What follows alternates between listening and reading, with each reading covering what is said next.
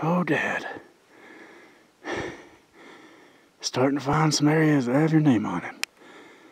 Out there's a little frozen lake. You got that clearing way over there. This clearing right here. This clearing right here.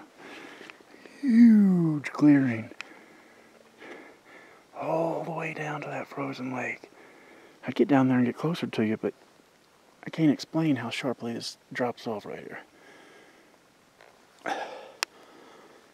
I could have gotten here early, I'd have probably stayed here for a while.